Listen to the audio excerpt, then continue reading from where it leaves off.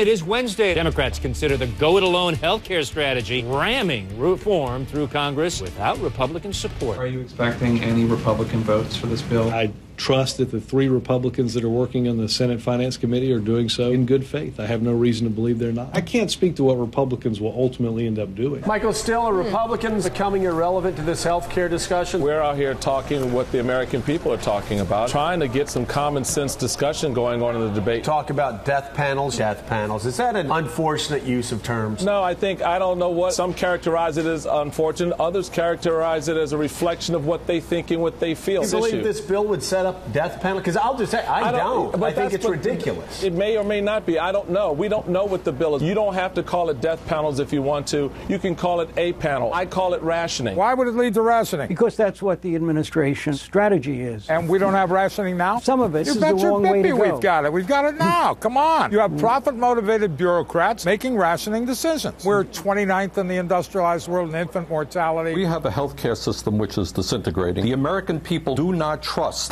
private insurance companies whose function in life is not to provide health care, it's to make as much money as they can. So you need competition for the private insurance companies, which is what a public option would be. This is not some kind of esoteric idea. Oh, gee, I love the concept of a public option. It means you give competition to the private insurance companies whose only goal in life is to make as much money as they possibly can. We can't have any more than we can have government bureaucrats in charge of healthcare. We shouldn't have insurance company bureaucrats in charge of healthcare. We have to do something to get out of this spiral of healthcare that we're in.